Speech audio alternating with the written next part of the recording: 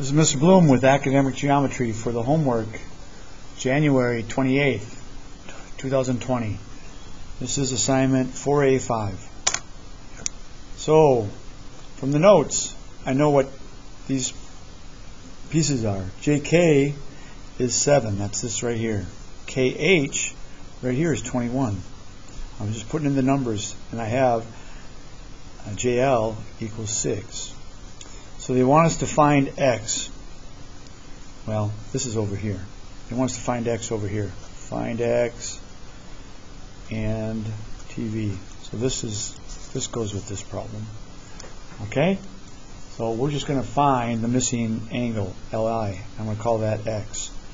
So I'm going to this is I'm going to set up my proportion. 7 is to 21 as 6 is to x. Do your cross product, solve for x.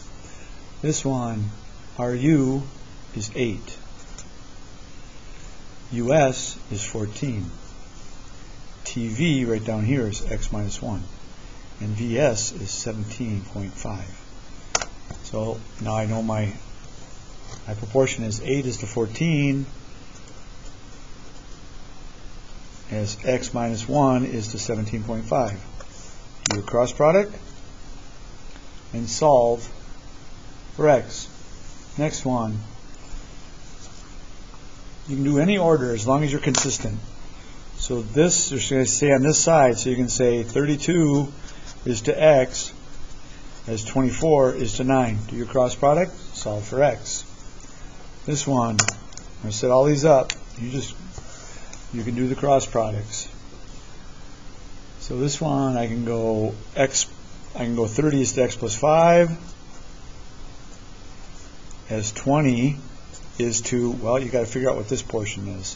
So this is part plus part equals whole, so you got to subtract the difference. So 36 subtract 20, this is 16. So that's 16 there. Do your cross product, solve for x. Number 5. 7 is to x as 6, well this is part plus part equals whole, so this is the whole, subtract the part, you get 21. Do your cross product, solve for x.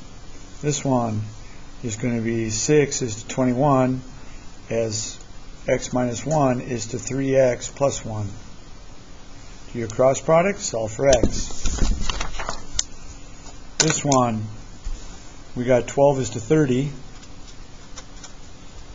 as 14 is to x. Do your cross product, solve for x. Same thing here. Number 8. This has got part plus part equals whole, so you got to subtract 28 from from 92, and that I think is 64.